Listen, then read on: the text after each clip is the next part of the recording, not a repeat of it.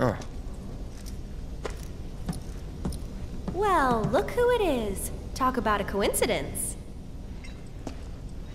What are you doing here? Waiting. Why? Because I'm not sick of you yet. Oh. Lead on then. With pleasure. Hmm, hmm, hmm,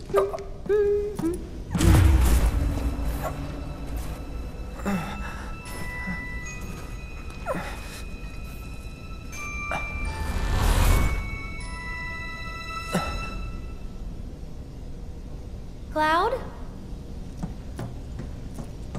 Is something wrong? It's nothing.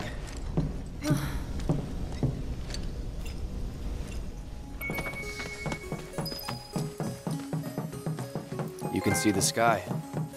They're still working on the new plate.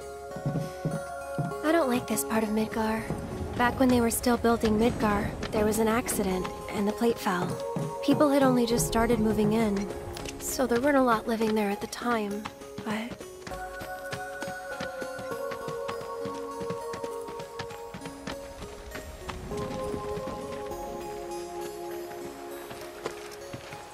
And that's? The underside of Sector 6, Wall Market, a real special place. But I'm sure you already knew that, right? I didn't tell you? I enlisted pretty much right after I left home. Don't know much about this place, or any of the slums. Well, it took a lot of people to build Midgar, and they all needed to blow off steam. So some traders built an entertainment district. Inns, shops, bars, the works. Folks started pouring in from all over. Business was booming, money was flowing, which attracted the attention of some guys who didn't much care for the law. And now there isn't any. Right. But instead of trying to solve the problem, the government decided to just wall it in. And that's how Wall Market began. Out of sight, out of mind, as the old saying goes. For the folks in charge, there's no better way to deal with it. So it's like a giant veil. Yeah. Wanna see what's behind it? Not really. That's good.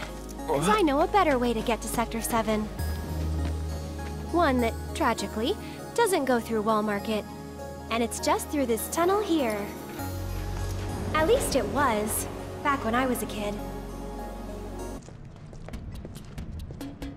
It's been like this, you know, ever since the plate fell. And there's no other way? It'll be an adventure.